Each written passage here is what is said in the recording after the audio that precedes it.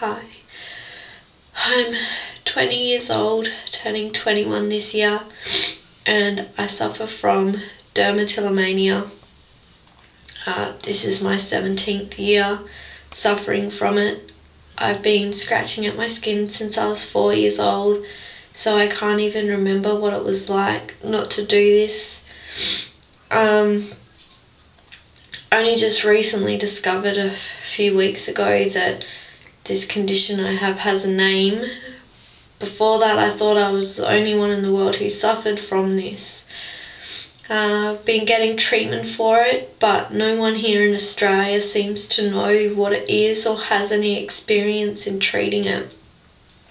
And uh, with my dermatillomania, I have low points and, and good points.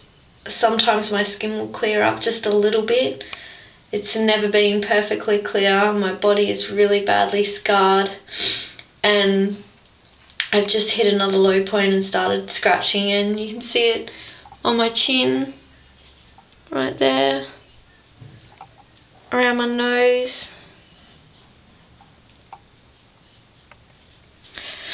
And eventually I'll just keep picking at my skin till my whole face looks that like that everywhere on my body looks like that I don't even want to leave the house anymore in the past year or so. Probably only left the house a couple of times. Just so depressed because of because of this illness and seeing no way out of it. And it's kind of like a drug addiction. Except when you have a drug addiction, you can separate yourself from the drugs. But when you've gotten an addiction to scratching at your own skin, can't get away from yourself.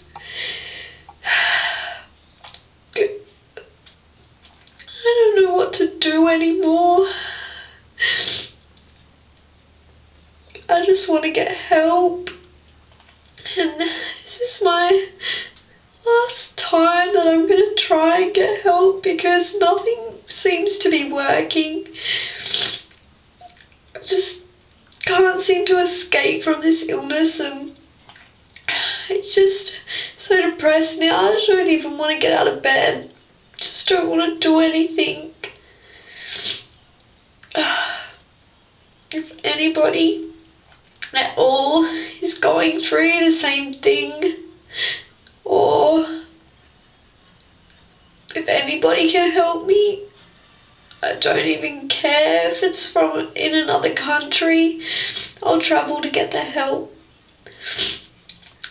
Just if anybody knows anything, please contact me.